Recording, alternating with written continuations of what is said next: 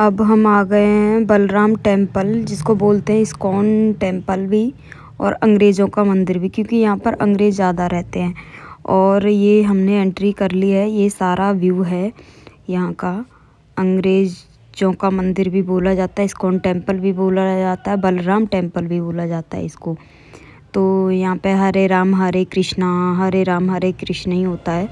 सारे दिन यहाँ पे भजन, कीर्तन रासलीला, नाच चलता रहता है। तो यहाँ से अब हम जाएँगे अंदर की साइड और ये सा, ये इधर जो है, ये सामने जो है, ये यहाँ पे मंदिर है। वहाँ, यहाँ इसके अंदर जो है डांस वगैरह चलता रहता है, कीर्तन वगैरह होता रहता है।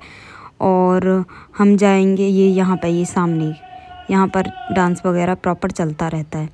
और ये हैं जिन्होंने ये मंदिर बनवाया है। तो ये वो हैं। और अब हम आ गए सामने वाले मंदिर जो मैं दिखा रही थी। तो वहाँ पर हैं, ये यहाँ पर सारे लोग सुन रहे हैं, कीर्तन होता रहता है तो वो कीर्तन सुन रहे हैं।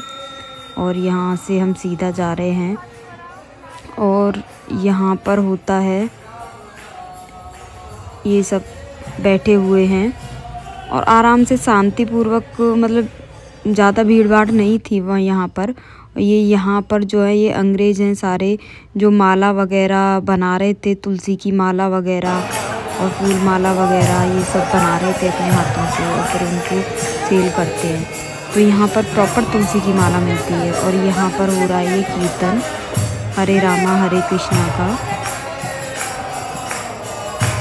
ये ये सारे अंग्रेज़ हैं, यहाँ पे ये कीर्तन कर रहे हैं। ये सारे अंग्रेज़ हैं।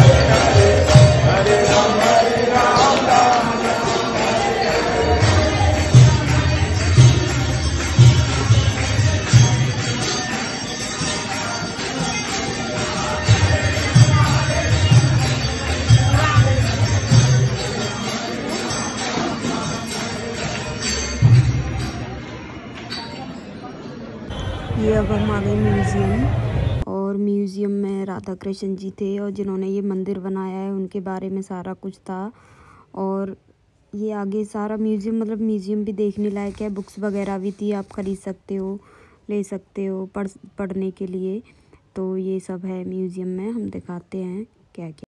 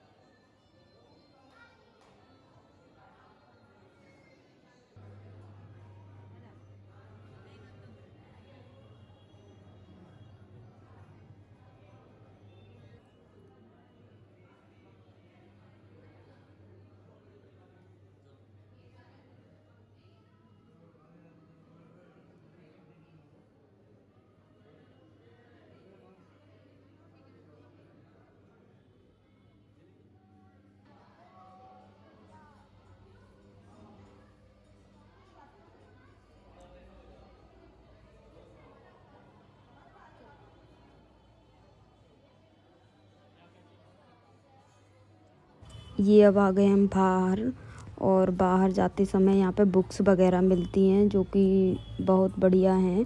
यहाँ से दो तीन बुक्स हमने ली और यहाँ से प्रसाद वगैरह भी ले सकते हो, प्रसाद वगैरह भी मिलता है और बुक्स भी ले सकते हो जो पढ़ना चाहते हैं तो वो ले सकते हैं और यहाँ पर जो है स्लीपर रखे जाते हैं जो कि फ्री ऑफ़ कॉस्ट है। तो थैला मिलता है, टोकन मिलता है, वो टोकन रखिएगा अपने पास में। थैले में जितने भी लोग हो, सब स्लीपर रख के एक थैले में जा सकते हैं। अब ये यहाँ पर खिचड़ी का प्रसाद बट रहा था तो यहाँ पर हमने खाई खिचड़ी और खिचड़ी बहुत टेस्टी थी, बहुत टेस्टी। तो हमने भर पेट खाई थी। Thank you